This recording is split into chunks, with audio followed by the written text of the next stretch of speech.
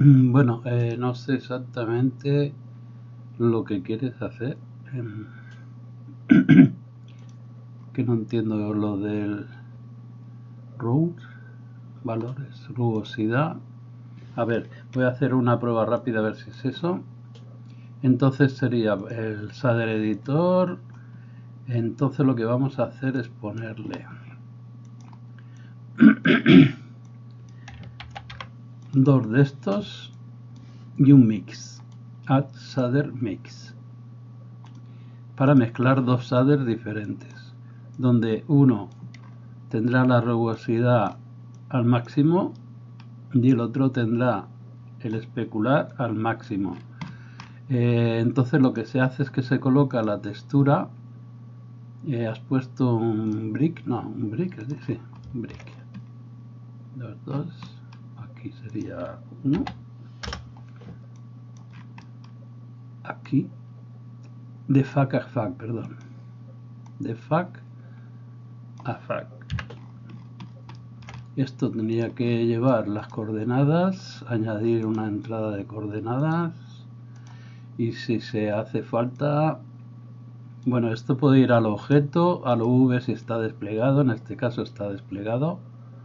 Si vamos al v en modo edición lo veremos si está bien desplegado.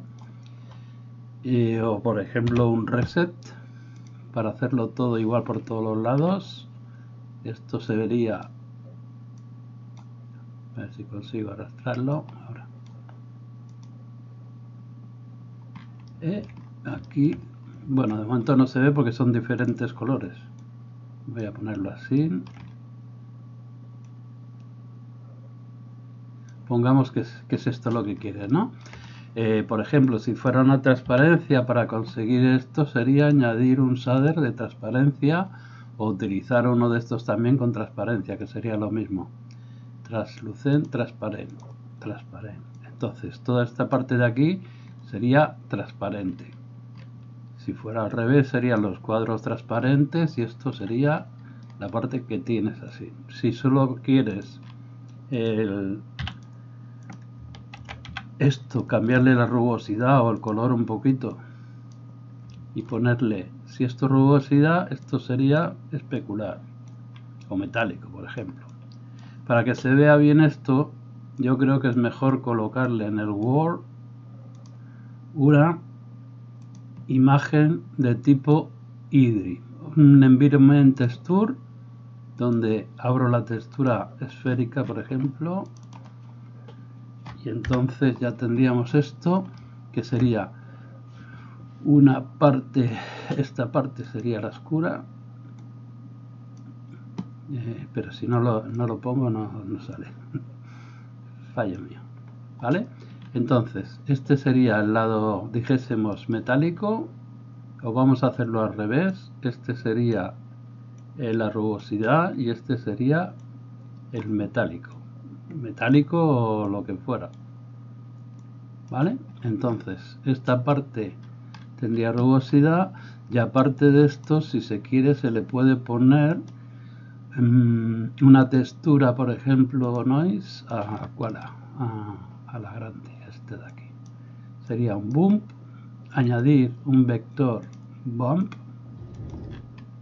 Esto lo ponemos por aquí esto lo, ahora, ahora lo, enseño todo de golpe. Esto sería color color. Eh, altura. Y esto sería en rugosidad o en este caso lo voy a poner en normales para que se note más. No sé si se va a notar. Sí. Vale esto sería la rugosidad menos.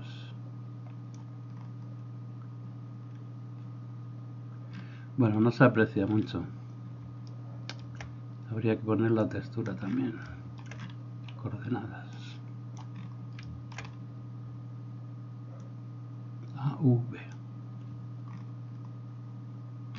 Bueno, más o menos es esto. O sea, si lo he entendido bien, sería un mixader mixader donde se mezclan los dos shaders un shader brillante y otro menos brillante, oscuro o transparente. Eh, si se le quiere se le pone textura también. Y el brico, bueno, el brico lo que tengas ahí tú, este, en este caso sería, los dos colores sería el morter, es el, el mortero, dijésemos de aquí, el sería 0.03, que sería más gruesos el mortero, se le llama esto, y esto supongo que sería un color único, o sea, da lo mismo los dos, sería uno, porque lo tenemos hecho de esta forma. Si pusiéramos otros colores, unas zonas tendrían eh, otro color, por ejemplo, si lo hiciéramos por aquí, por aquí. Bueno, claro, Aquí el problema es, eh, mm, le he quitado el color porque los colores los utilizo desde aquí. O sea, es todo lo mismo. Pero en realidad tendría que ser blanco y negro. El morter negro y esto color blanco. Si es esto lo que buscas, ¿eh? Ya te digo, o sea, mixader, dos shaders, la textura que quieras poner, si es de baldosa, baldosa, la textura de coordenada, en este caso lo he puesto desplegado en un reset, o sea, todas las caras iguales. Podría ser el haciendo los cortes, cortarlo sin, sería desplegarlo como tú quieras, así. 1, 2, 3, 4 y este. Control E, marcar sims y Q un wrap ¿vale? y este sería otro tipo de desplegado ¿vale? y aquí ¿vale?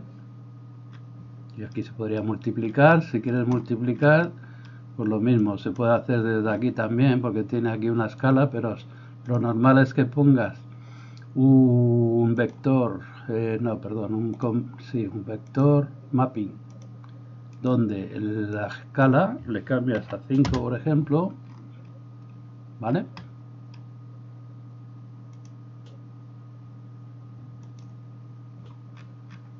No sé si es esto lo que quieres.